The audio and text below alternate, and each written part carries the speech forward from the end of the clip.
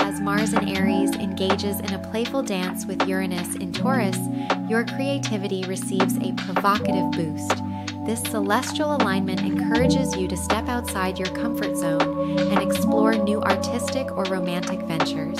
Perhaps an unexpected opportunity will arise that allows you to showcase your talents in unique ways. Embrace the spontaneity that highlight your natural charisma and